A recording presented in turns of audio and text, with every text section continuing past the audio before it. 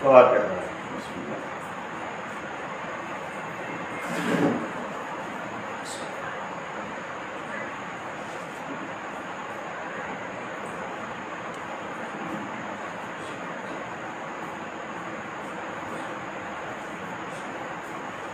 No.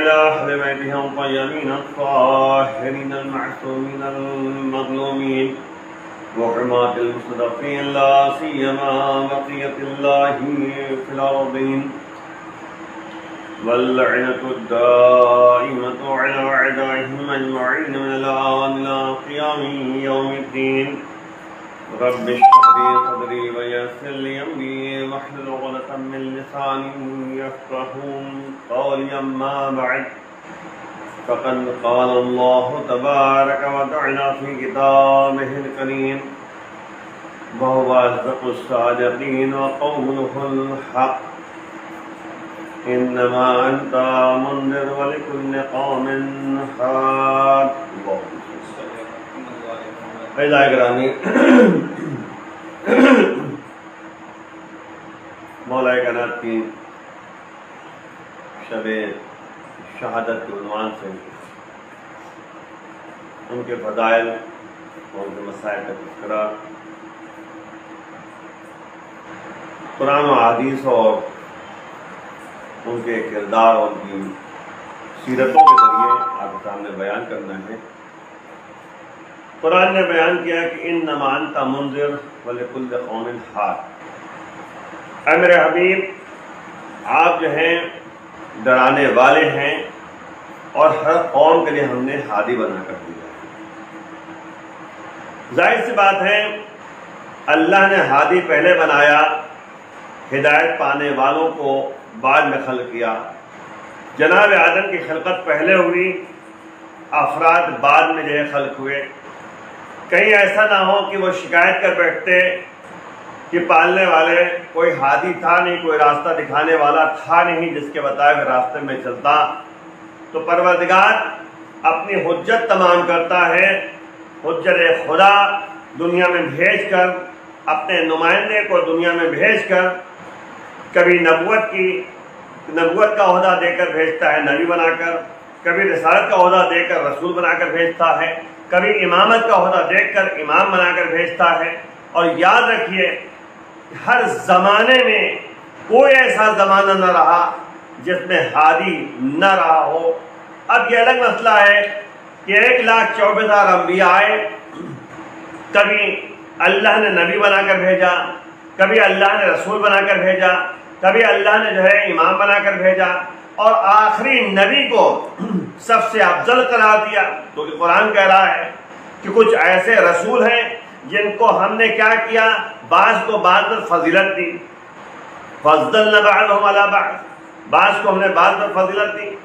तो याद रखिए, आखिरी नबी, वो नबी थे कि जो नबी भी थे, रसूल भी थे, इमाम भी थे, और ये ऐसे नबी थे कि जब तक एक लाख तेईस हज़ार नौ सौ निन्यानबे नबियों ने इनकी नबूत का ऐलान इकरार न किया एतकाद पैदा जब तक न किया, इनकी नबूत का इकरार जब तक नहीं किया, तब तक उनको नबूत न मिली।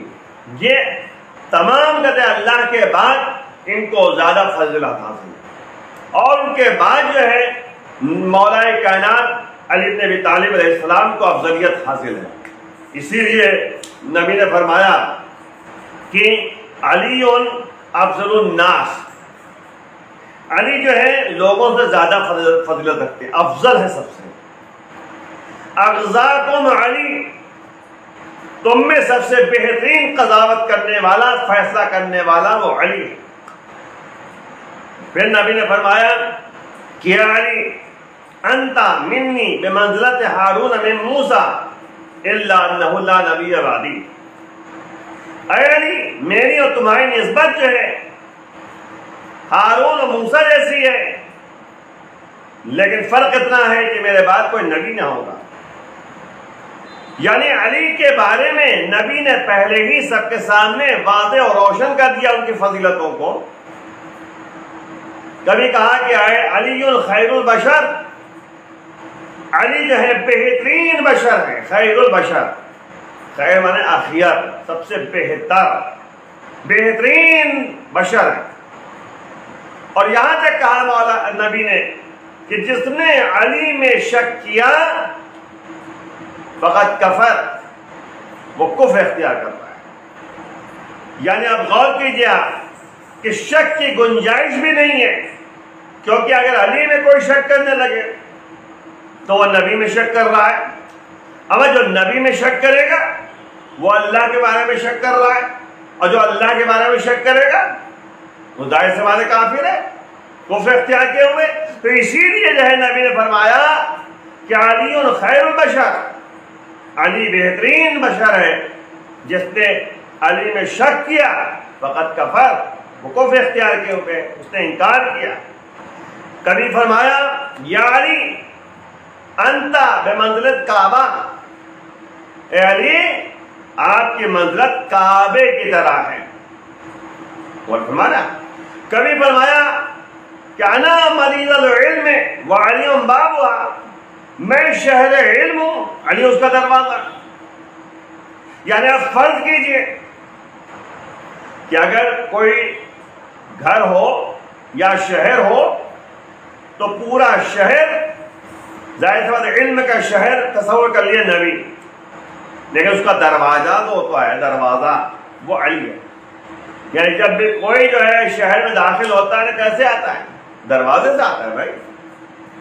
और ये आमतौर पर याद रखिएगा कि घर की जीनत जो है, वो दरवाजे से पता चलती है।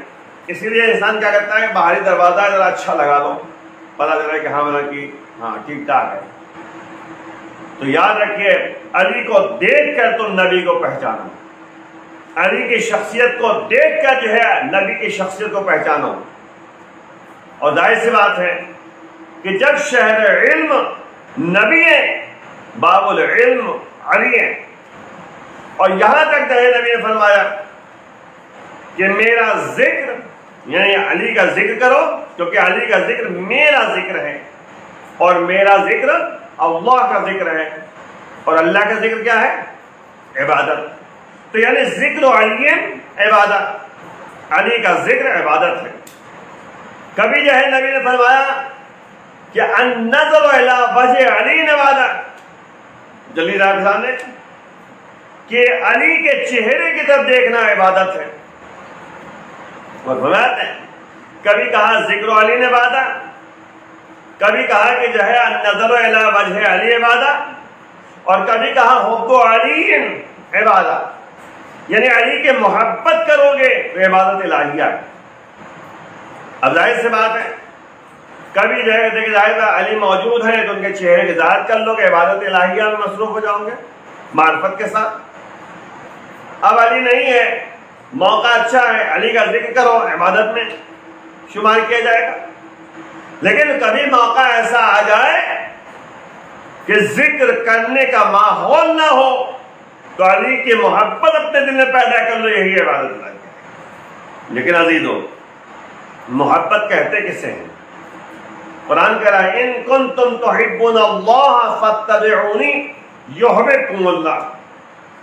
अल्लाह कह रहा है कि अगर तुम अल्लाह से मोहब्बत का दावा करते हो, ए मेरे हबीब, कह दो इनसे, कुल, ए मेरे हबीब, कह दो, बता दो, समझा दो कि अगर तुम्हें अल्लाह से मोहब्बत है फतरऊनी मेरी इत्तबा करो। यो हबीब तुम अगर तुम मेरी इत्तबा करोगे तो अल्लाह तुमसे मोहब्बत करेगा। यानी अल्लाह ये बताना चाह रहा है कि मोहब्बत का नतीजा ये होता है कि इंसान के अंदर क्या पैदा हो? इत्तेबा का मादा पैदा हो। नक्श कदम पे चलने का, यानी नक्श कदम पे चलने का मादा पैदा हो जाए। जब तक इंसान नक्श कदम पर नहीं चलेगा, तब तक कामयाबी उसको मिल नहीं सकती। और इसीलिए अगर वाकई अली से मोहब्बत है तो ज़ाहिर सी बात है कि अली की मोहब्बत अगर है तो अली के नक्श कदम पर चल के जो है ज़िंदगी गुजारना चाहिए। अली की मार्फत पैदा करना चाहिए। अली उस शख्स का नाम है जिसको आप इमाम मुत्तकीन कहते हैं। और कुरान भी जो है हदल मुत्तकीन है। कुरान और अली में राबता, आप देखिए, अहले बैत में राबता देखिए आप। कि अली इमाम मुत्तकीन, मुत्तकियों के इमाम अली। और कुरान में क्या करता है? कह रहा है खुदल मुत्तकीन, मुत्तकियों के हिदायत के वास्ते कुरान आया। कुरान अगर नूर है तो अली भी नूर है। अगर कुरान में लिखा हुआ है कि ला रत वला या फ़ी किताब मुबीन, हर खुश को तर्ज है किताब मुबीन में है। तो कुरान ने यह भी वादे कर दिया, वकुल्ल शैना हसैना हो फ़ी इमाम मुबीन। हमने हर चीज़ को एहसा कर दिया है इमाम मुबीन ने। सूर्य यासीन क्या करीमा है, वकुल्ल शैना हसैना हो फ़ी इमाम मुबीन। हमने हर चीज़ का एहसा कर दिया है इमाम मुबीन में। अब ज़ाहिर सी बात है, जब ये आयत नाजुल हुई तो लोगों ने अपना अपना अपना नज़रिया बयान करना शुरू कर दिया। कहा, या नबी अल्लाह, क्या इमाम मुबीन से मरा तौरेत है, इंजील है, जबूर है? कहा, नबी ने कहा, ये सब कुछ नहीं। कहा, कुरान है? कहा, नहीं। तब तक अली जो है दाखिल हुए मस्जिद में, कहा इमाम मुबीन, ये इमाम मुबीन है। यानी आप गौर कीजिएगा, इमाम मुबीन वकुल्ल शहीन हसैना फ़ी इमाम मुबीन। अल्लाह कह रहा है कि हमने हर चीज़ का ऐसा कर दिया है इमाम मुबीन में। यानी आप किस तरीके से कुरान हर मसले का हल बयान करने वाला है, हर बातें बयान करने वाला है, हर बातों की तरफ़ तवज्जो दिलाने वाला है। अली जो शख्सियत का नाम है, जिसमें हर चीज़ मौजूद है, अल्लाह ने अता किया है। तभी अली ने ऐलान कर दिया सलोने सलोने कबलान तफकदोनी। अरे जो पूछना चाहते हो, पूछ लो, इससे कब्र के तुम्हारे दरमियान में चला जाऊँ। किसी ने दावा नहीं किया? हम हम यहाँ तक कह सकते हैं, नबी ने दावा नहीं किया, भाई। आप दें तारीफ़ में कहीं लिखा हो कि नबी ने दावा किया हो जो पूछना हो पूछ लो। लेकिन अली ने बाकायदा से दावा किया और अपने दावे को साबित भी किया कि हाँ वाकन जो है अली अपने दावे में सच्चे हैं। नबी ने अच्छा एक सवाल बात आ, बात आगे कहते चलो। ताकि बाद में ये ना को कहे मौलाना साहब हमें बंदे खड़ा सुनिए। नबी ने जो है क्यों दावा नहीं किया? ये भी सवाल है ना जबकि नबी जो है शहर इल्म है, अली उसका दरवाज़ा हम्म? और यहाँ तक कि जो है, मौला के फरमाते हैं कि नबी ने मुझे, है, एक बार अदा किया हमने उसमें से जो हज़ार बाप पैदा किए हम्म? यानी अल्लाह के नबी ने जो है, जो बाप इल्म के दिए, एक, दो, तीन जितने भी दिए वो सब के जो है कई बात जो है उसने पैदा किए। यानी यूँ कह दिया जाए कि नबी ने यहाँ मौला ने यह फरमाया कि नबी ने हमें ऐसा इल्म दिया जैसे एक चिड़िया का बच्चा होता है, चिड़िया उसके मुँह में जो है दाना जुगाती है, दाना डालती है। वैसे जो है अली, नबी ने जो है मुझे इल्म दिया है। अल्लाह के नबी ने जो है मुझे हज़ार बाब अता किया। अब ज़ाहिर सी बात है कि बाब ही बाब है इल्म के। और उसमें कई बात जो है अली ने पैदा की है। और इस तरीके से नबी ने जो है अली के को इल्म दिया, जिस तरह एक चिड़िया जो है अपने बच्चे को जाना चुबाती है। इस तरीके से। और नबी ने अली ने यहाँ तक कह दिया अना अना अब तुम मिन अबीद मोहम्मद। मैं मोहम्मद के गुलामों में से गुलाम हूँ।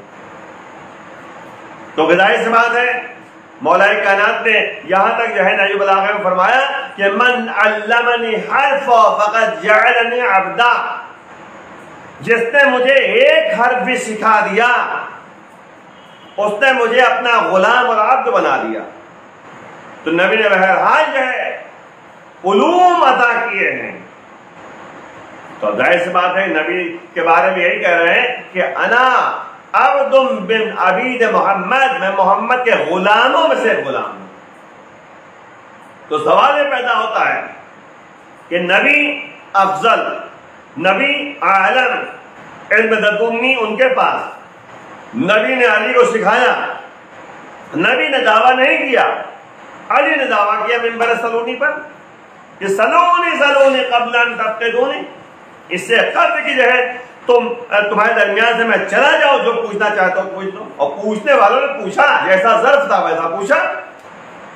भाई जैसा जो इंसान का माइंड होता है उसी तरह से सवाल करता है। एक ने जो है बहरहाल जो है पूछ दिया कि जिब्राइल कहाँ है?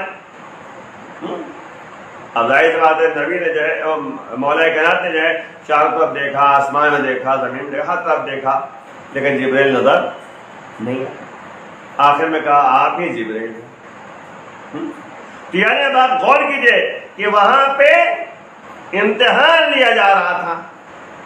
भाई जिब्राइल ने खुद आकर जो है सबके सामने वादे कर दिया।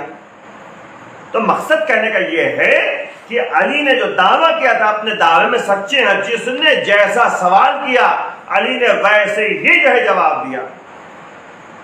भाई 25 साल की जो है खामोशी ज़िंदगी जो है अली ने गुजारी। नबी के वफात के बाद 25 साल तक।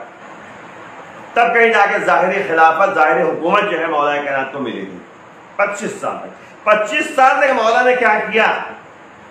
तारीख का मुताले कीजिए इल्म फैलाते रहे। और जब भी हुकूमत वक्त को कभी उलूम के लिहाज से, इल्म के लिहाज से ज़रूरत पड़ गई, मसले के हल के लिहाज से ज़रूरत पड़ गई तो अली के पास पहुँचे। यहाँ तक कहना पड़ा कि अगर अली ना होते तो हलाक हो जाता। क्योंकि ऐसे ऐसे सवाल थे कि अली के अलावा कोई जवाब नहीं दे सकता था।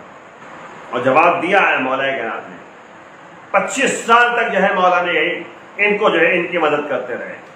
इन लोगों ने कहा, जब भी दरबार में कोई मसला पेश आता था, नहीं हल कर पाते थे तो अली के पास जाते थे।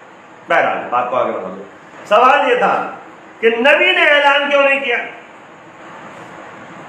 नबी ने ऐलान इसलिए नहीं किया, गौर कीजिएगा।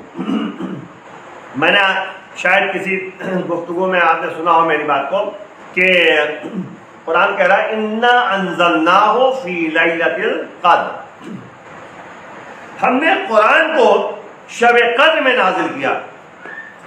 देखिए शब कद्र में अल्लाह कह रहा है कि हमने नाजिल कर दिया कुरान को। ठीक, ये बात नहीं एक जगह पे कह रहा है, नानो नजल न जिक्रा व इन लहुल हाफिजून इन नहनो, बेशक हम ही हैं जो कुरान को हम नाजिल करते हैं और हम ही उसके मुहाफिज हैं।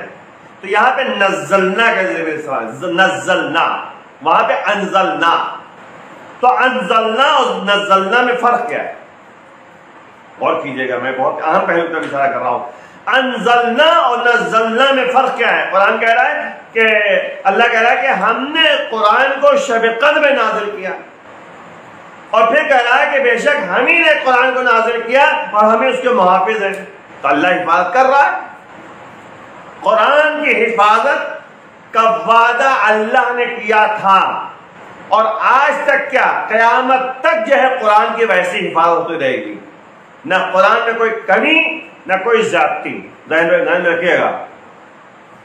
कोई ना ज़्यादा कर सकता है, ना उसमें कमी पैदा कर सकता है। अल्लाह उसका मुहाफिज हो। बनते हो जिस चीज़ की हिफाजत अल्लाह करे, उसमें कौन करते उलट फेर कर सकता है? जो वादा इलाहिया है, वो बहरहाल बरकरार है और पूरा होकर रहता है। अब ये अलग मसला है कि कुरान की हिफाजत जो है ताहरीन को वसीला बनाया अल्लाह ने हिफाजत के वास्ते। आज भी कुरान की हिफाजत इसलिए और एक पर्दे गैब में मौला मौजूद है। हमारा बारे में हम्म? हिफाजत कर रहे हैं। अल्लाह ने इनको मुकर्र किया है, नुमाइंदा बनाया है, हादी बनाकर भेजा है। भाई तो अब कुरान कह रहा है कि, अल्लाह कह रहा है कि हमने कुरान को शब में नाजिल किया।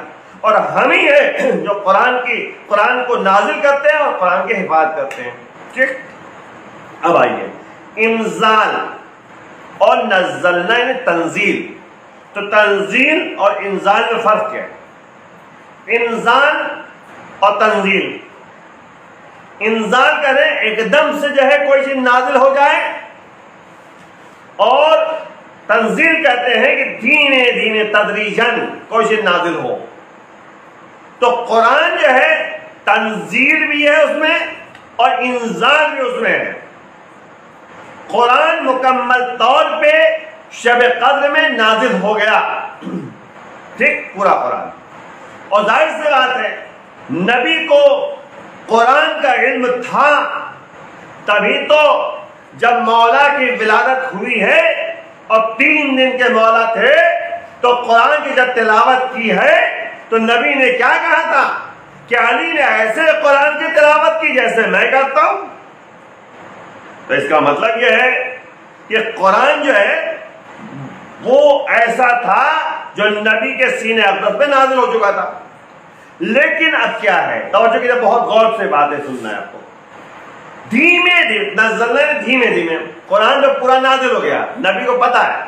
ठीक? अब जो है, जैसे जैसे वाकया पेश आता था, वैसे वैसे कुरान की आयतें आती थी धीमे धीमे करके अब मसला यह है कि अगर दावा कर देते नबी, कि हाँ जो पूछना चाहो पूछते कर दे कि तुम्हारे दरमियान चला हुँ? हम्म?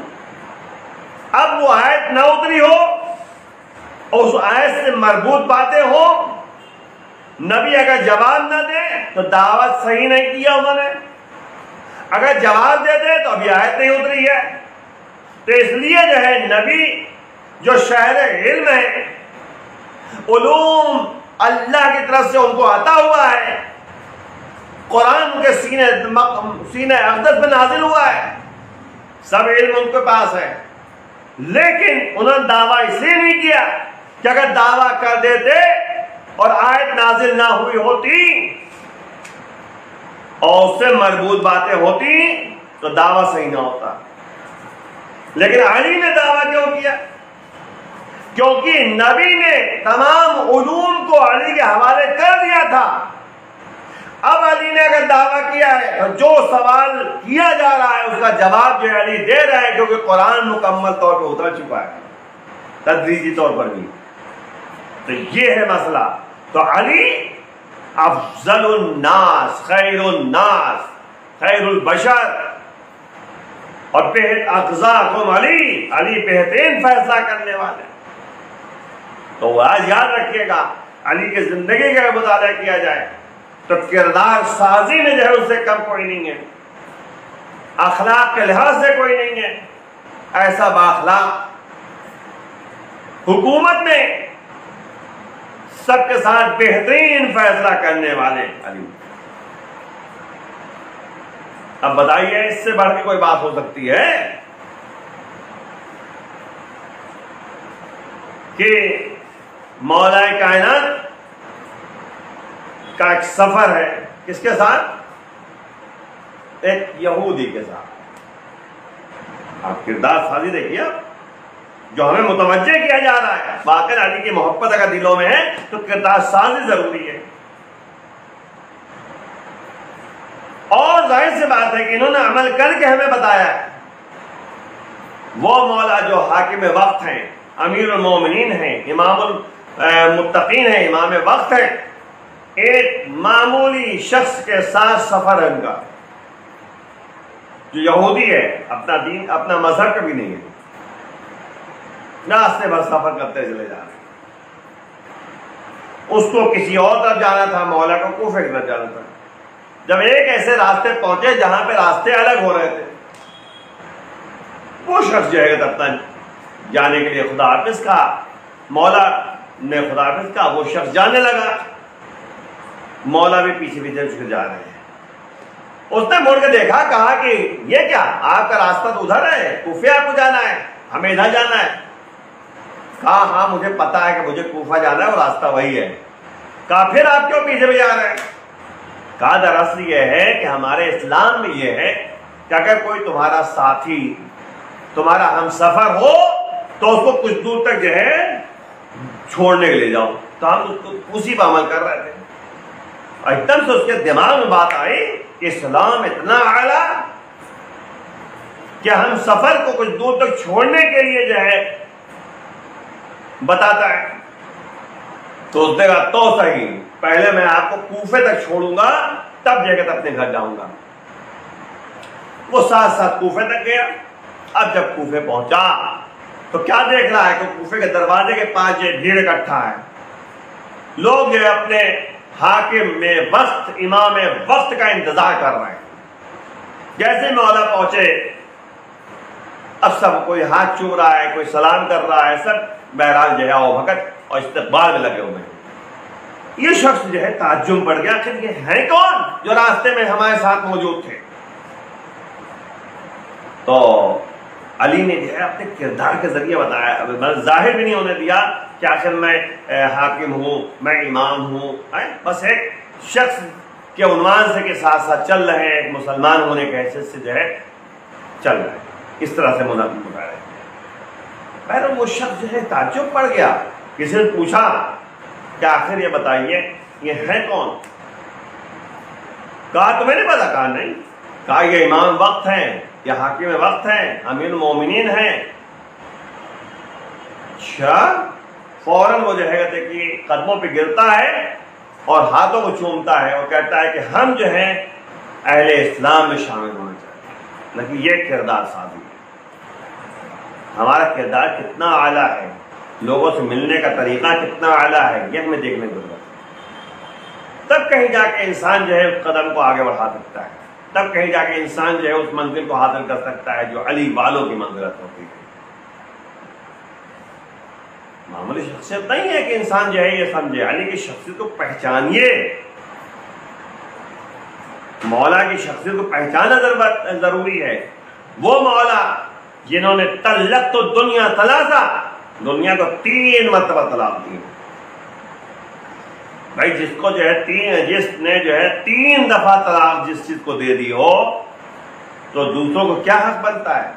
क्योंकि नबी ने यहाँ तक कहा कि आना वाली अब वाह हादिल उम्मा। मैं अली इस उम्मत के बाप है।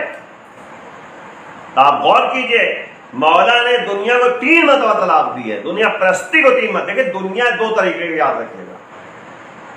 एक दुनिया जो है, वो है जो आखिरत तक पहुँचा दे, एक दुनिया वो है जो आखिरत से दूर कर दे।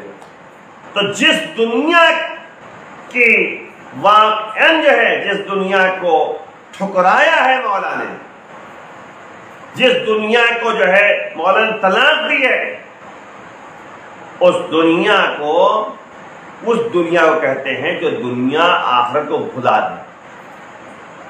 दुनिया, आखिरत को तो याद रखिए, ऐसी दुनिया जो आखिरत से दूर कर दे, उसको मौला ने तीन मतबा तलाक दी है। तो बेटों को क्या हक बनता है कि जो है उसको इख्तियार करें? सब समझने और सोचने की ज़रूरत है कि आखिर उस शख्सियत को पहचाने की ज़रूरत है कि जब मौला को जो है दौर हुकूमत में हुकूमत मिली है। तो मौला ने तो इंसान से हुकूमत करके बताया है कि कैसी हुकूमत होती है। एक बात बीच में आगे तो कहता चलू। यहाँ इलेक्शन होता है तो जो इलेक्शन में साथ देता है, वो इस उम्मीद में लगा रहता है कि जब ये जीत जाएँगे तो हमें कहीं ना कहीं पोस्ट मिल जाएगी। कहीं ना कहीं हमको जो है जगह मिल जाएगी। और जब कोई मंजरत हासिल हो जाती है तो हर रिश्तेदार अपनी उम्मीद लगाए बैठा होता है कि हमें कोई ना कोई पोस्ट मिल जाएगी। लेकिन अली की शख्सियत को पहचानिए। क्या अली हाकिम वक्त है। सबको तीन तीन दिरहम दिया है। जनाब अकील, सगे भाई हैं, कोई अलग से नहीं है।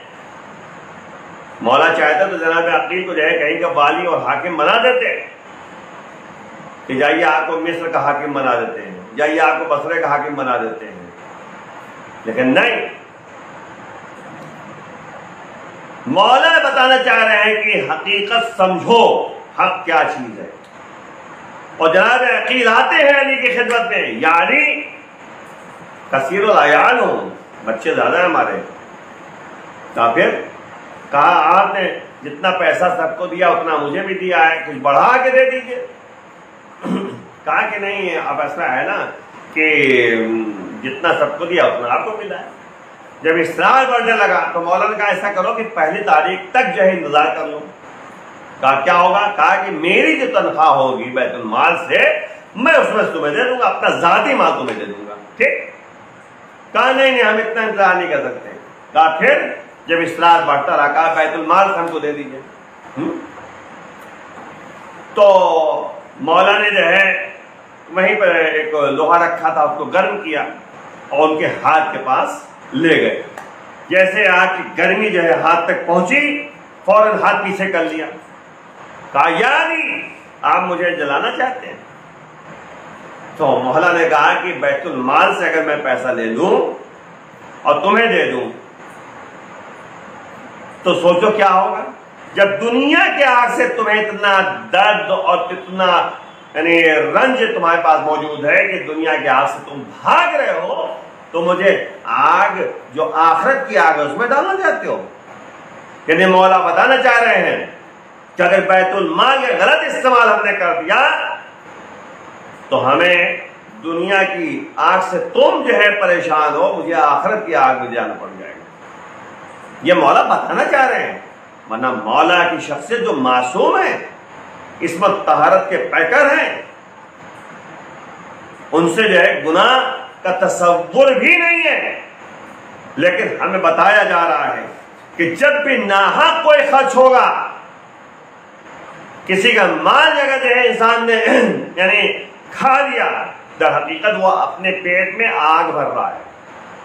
वहाँ भी आग उसको मिलेगी। सगे भाई को मौला ने जो है पैतुल माल से कुछ बढ़ा कर न दिया। सोचो एक लम्हे के लिए अजीजों क्या हाकिम वक्त है, पूरी इस्लामी हुकूमत उनके पास है। कितना बड़ा खत्ता मौजूद है। और फिर दूसरी बात, कहा यह जाता है कि जब इलेक्शन में कोई खड़ा होता है, कोई अगर साथ देता, जिता देता है ना तो उसकी जो है वो भी उम्मीद लगाए बैठा रहता है कि हमको कहीं ना कहीं का हाँ उदा मिल जाएगा। मौला करात कि सबसे पहले हाथ बैत करने वाले कौन थे? तलहा और जुबैर। बस गुफ्तु तो वहाँ कर रहा हूँ मैं तफसीली गुफ्तु पेश नहीं वरना मौला कहना के बारे में जो है बयान करना शुरू कर दे इंसान तो वक्त चाहिए उसके लिए। नबी ने यही तो कहा, कली के फजाइल को तुम गिनना चाहते हो? तमाम दुनिया के दरख्तों को कलम बना दिया जाए। और जितना पानी है सबको रोशनाई बना दिया जाए। और जितनी ज़मीन है सबको कागज़ बना दिया जाए। और जिन उसको बैठा दिया जाए कि तुम जो है अली के फजाइल को लेकर नहीं लिख सकते। कितने फजाइल हैं। तभी तो जैन नबी ने कहा कि अली तुमको नहीं पहचाना किसी ने सिवाय मेरे और तुम्हारे, मेरे और अल्लाह के। और अल्लाह को किसी ने नहीं पहचाना सिवाय मेरे और तुम्हारे। और मुझे कोई नहीं पहचान सका सिवाय तुम्हारे और अल्लाह के। और क्या? मार्फत चाहिए, शनाख्त चाहिए, पहचान चाहिए, जितनी शनाख्त हो सके, उतना ही ज़्यादा जो है इंसान के अंदर मोहब्बत में इजाफा होगा। बैठ तो सबसे पहले अली के हाथ बैत करने वाले कौन थे? तलहा और जुबैर। और इनको बाकायदा उम्मीद थी कि अली हमको जो है कूफे और बसरे की हुकूमत दे देंगे। एक सोचा था हमें कूफे मिल जाएगी हुकूमत, एक ने सोचा था हाँ बसरे की हुकूमत। जब मौला ने जो है ऐलान किया तो वहाँ कहीं पे जो है लिस्ट में उनका नाम ही नहीं था। बहुत कीजिएगा लिस्ट में कहीं नाम ही नहीं था।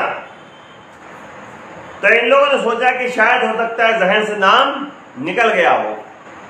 चलो घर चलते हैं। तो रात के वक्त जो है ये दोनों पहुँचे अली के घर। दत्तुल बात किया। जनाब हमारे आसिर जो है पूछा क्या बात है? कहा, मुझे मौला से मिलना है। पूछा, कहा, बुला लो। बुलाया। मौला जो है, बैतुल माल के तमाम उमूर को अंजाम दे रहे थे। तो माल का ऊँट यानी हिसाब किताब लिख रहे थे। जब हिसाब किताब लिख रहे थे तो चिराग जल रहा था। लिखते लिखते हिसाब करते करते वो जब दोनों आ गए, बैठ गए सलाम जुबैर सलाम दुआ हुई। कहा, ये बताओ तुम्हें जो है पर्सनल काम है या कोई बैतुल माल, यानी हुकूमत का कोई काम है? तो उन्होंने कहा, मेरा जाती काम है पर्सनल काम है। अच्छा तो ऐसा करो। ठीक, बैठो। मौला जो है हिसाब लिख रहे हैं और यहाँ तक कहा, बेटा हसन, अपने बेटा हसन चिराग जरा उठा लो। गौर कीजिएगा। अब एक चिराग आया, मौला के सामने रखा गया। वो चिराग जलाया गया, ये चिराग बुझा दिया गया। बस चिराग जला जला दिया गया और एक चिराग बुझाया गया। तो इन दोनों में से एक ने कहा कि याली मौला ने कहा कि अच्छा बताओ क्या काम है? जब चिराग जला दिया, चिराग बुझा दिया। तो इन लोगों ने कहा कि यारी पहले ये हमें समझ में आने बात कि एक चिराग जल रहा था तो दूसरा चिराग आपने जलाया क्यों और पहला चिराग बुझाया क्यों? इसका सवाल जवाब मिल जाएँगे। तो मौला ने कहा देखो, ये चिराग जो जल रहा था, ये इसमें जो तेल था, वो बैतुल माल के पैसे से था। और काम मैं बैतुल माल कर रहा था, मैं हुकूमत का काम कर रहा था, हिसाब किताब लिख रहा था। लेकिन जब तुमने कहा, पर्सनल काम है तो ये चिराग मैंने पर्सनल अपना जो मेरा जाती चिराग था, वो मैंने मंगवाया। ताकि जाती गुफ्तगु जो है, उसी चिराग के रोशनी हो सके। बस इतना मौला ने जवाब दिया। वो वाली ऐसा अद इंसाफ करने वाले अद पसंद कि एक लम्हे के लिए भी चिराग का तेल न जलने पाए अपने सगे भाई को एक रुपए भी ज़्यादा न दे बैतुल माल से। उस अली के शख्सियत को क्या समझ सकते हैं आप? समझिए, मार्फत हासिल करना है। इन दोनों ने जब देखा, सवाल का जवाब मिल गया, उठ के चले गए। कहा अच्छा मौला खुदा। उनका जवाब मिल गया कि वो अली, जो एक चिराग के मसले में इतना एहतियात तो हमें जो है हुकूमत कहाँ मिलेगी? बहरहाल, ये है कहते अली की तर्ज हुकूमत इसीलिए मौला जुमला कहा था जब एतराज़ करने वाले एतराज़ किया था कि यारी, जो बातें गुजर गई गुजर गई। अब नई बातों को सामने रखिए। मौलाना नहीं, जो हराम खोरी की है, तुम्हारे हलकों से मैं बाहर निकाल दूँगा और फिर मौलाना ने एक जुमला कहा था इन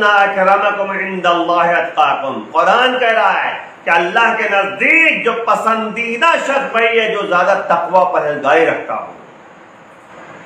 तो मेरे नज़दीक वही ज़्यादा कहते कि करीब होगा, मेरे करीब होगा और मेरे नज़दीक वही मंजरत वाला होगा जिसके अंदर तकवा ज़्यादा हो। तभी तो अम्मार यासिर इतने तकवे वाले थे, हैं, जो अली के साथ थे। सलमान फारसी तकवे वाले थे, जो अली के साथ थे। तो याद रखिए को तकवा एक ऐसी चीज़ है, तभी तो इमाम मुतकीन हम लोग कहते हैं मुतकियों के इमाम। कुरान ने कहा उदलफतिल जन्नत मुत्तकीन जन्नत बनाई गई है मुत्तकियों के लिए। जो माह रमज़ान, माह तकवा है। तभी तो जय कुरान ने कहा, या लदीन आमनु, कुतिबा अलैकुम कमा कुतिबा अलल लदीन कबलकुम लअल्लकुम तत्तकून। ईमान वालों, तुम पर रोज़े वाजिब करा दिए गए हैं, जिस तरह से तुमसे पहले वालों के लिए रोज़े वाजिब करा दिए गए क्यों? लाल तत्तकून। शायद तुम मुत्तकी बन जाओ। ताकि तुम मुत्तकी बन जाओ। यानी यहाँ पे दोनों तर्जमा किया जाता है, ताकि तुम मुत्तकी बन जाओ। यानी रोज़े मुत्तकी बनने के लिए जो है, सबब बनते हैं। और यहाँ तक कहा कि शायद तुम मुत्तकी बन जाओ। यानी बहुत से लोग ऐसे दिखेंगे जो रोजेदार होते हैं, लेकिन मुत्तकी नहीं बन पाते। तो यही मसला है कि रोजा रखने के बाद इंसान मुतकी बन जाए, यह अहम चीज़ है। तो इमाम मुत्तकीन हम जो कहते हैं, मुत्तकियों के इमाम तो हमें मुत्तकी बनना होगा ताकि हम ये कह सके हमारे मौला जो है अली ने तालिब उस अली की ज़िंदगी को आप देखिए। जिस अली ने अपने कातिल को, जिनकी रस्सियाँ जो है हाथों में बंधी हुई थी, उसको खुलवा दिया था मौला ने और यहाँ तक कहा कि जो मेरे लिए शरबत लाया जाए, वही शरबत जो है इन मुलजिम को दिया जाए। अजीजों, ये मलून इब्ने मुलजिम जिसने मौला के सर पे जरबत लगाई तो मौला ने यही कहा था कि, फुस्तो रबिल काबा, काबे के रब कसम में कामयाब हो गया। वो अली की ज़िंदगी, जिसने, जिसकी विलादत जो है खाने काबा में हुई है, और शहादत जो है जरबत जो लगी है, वो मस्जिद कोफा में मेहराब के उस अली के बारे में जब उनको लाया गया है, और तभी वो डॉक्टर आए हैं उस जमाने के कहा कि जिसमें जहर सिरायत कर चुका है। मौला ने बाका बाकायदा वसीयतें की है। और जब वसीयतें कर चुके थे उसके बाद इक्कीसवीं रमज़ान और मुबारक, जिसमें मौला इस दुनिया से चले गए। मौला को इमाम हसन इस्लाम ने गुस्ल दिया और कफन पहनाया। और यहाँ तक कि मौला ने वसीयत की थी, बेटा हसन, मेरे ताबूत को फला जगह तक ले जाना उसका शियों को वापस कर देना और पीछे से ताबूत पकड़ लेना। आगे से ताबूत खुद ब खुद आगे बढ़ेगा। जहाँ जाकर ताबूत रुक जाए, वहीं पर जो है कब्र दिखाई देगी। मुझे दफना देना। हाजी तो यही हुआ। यहाँ तक कि वहाँ तक पहुँचे तो देखा कब्र खुदी हुई है। दो हाथ बरामद हुए। लाओ, मेरे वसी को मेरे हवाले कर दो। इमाम हसन इमाम हुसैन ने इमाम अली को दफना दिया। मैं कहूँगा मौला आपके बेटे ने आपको गुस्ल दिया, आपको कफन पहनाया और तदफीन में भी देखा दफन किया, कब्र में उतारा। लेकिन बुला के मैदान में आकर देखिए, आपके बेटा हुसैन तीन दिन के भूखे प्यासे, शिमर का कुंद खंजर सरतन से जुदा होता है। आवाज़ आती अला कद कुतल हुसैन में करबला। यहाँ तक की बात शहादत हुसैन। लाश को पामाल कर दिया गया। बेटा था भी तो हाथों में हथकड़िया, पैरों में बेड़िया, गले में ताके खारदार मजलूम इमाम अपने बाबा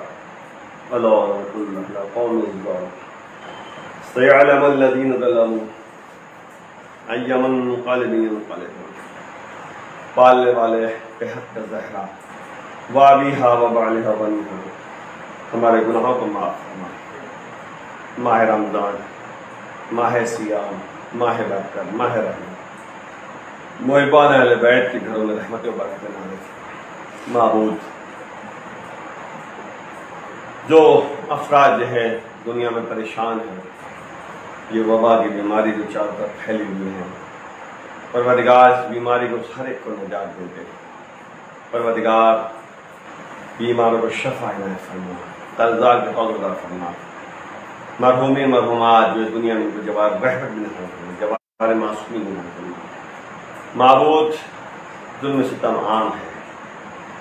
हमारे इमाम जो पर्दे गैर में हैं परवरगार उनका जहूर जल्द जल्द कर दें ताकि दुनिया में अब इंसाफ की हुकूमत कायम हो सके मौला के आवाम अनुसार हमें शुमार फरमा ईमान जहूर में ताजिल फरमा वाह